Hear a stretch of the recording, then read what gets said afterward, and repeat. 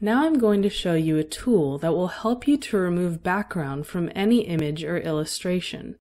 Very easy and quickly, and free of charge. Although this tool won't give you a professional result, you can get a quality that is good enough for your web images. Go to Edit, Transparent. Choose your image. You can either paste the image link or upload it from your computer. I'll use a file from my computer.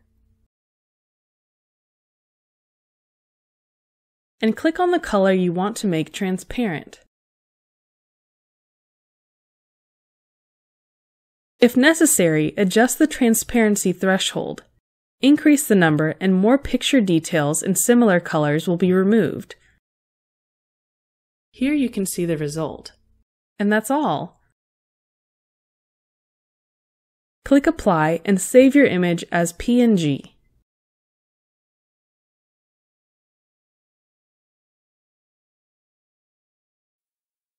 Did you know that you can remove any background of a picture in Word, Excel, and PowerPoint 2010?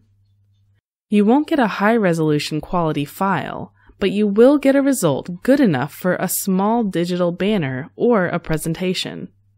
Let's see an example in Word. Just insert your picture and click on it twice. Then choose Remove Background.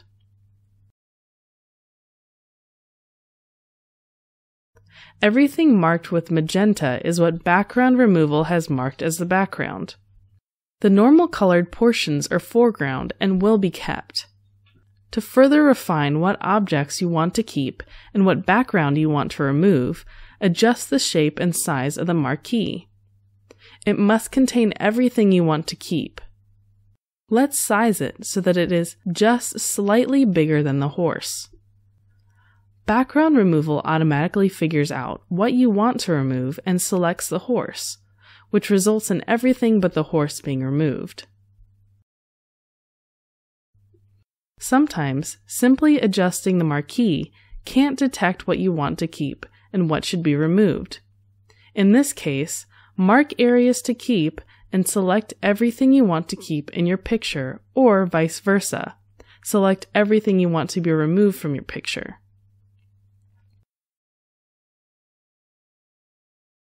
If you make a mistake, just press Delete Mark and select the marks you want to delete.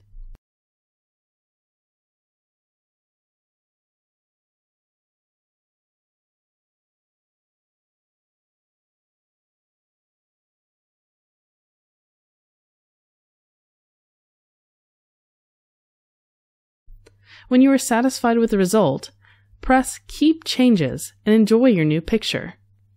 To save your picture with a transparent background, click on it with the right button of your mouse and select Save as Picture.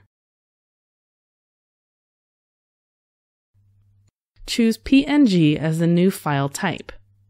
Similarly, you can remove background of pictures in PowerPoint and even in Excel 2010.